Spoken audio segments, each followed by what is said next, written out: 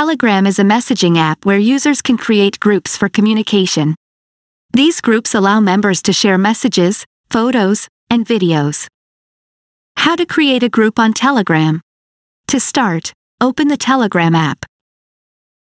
Click on the three horizontal lines in the upper left corner of the screen.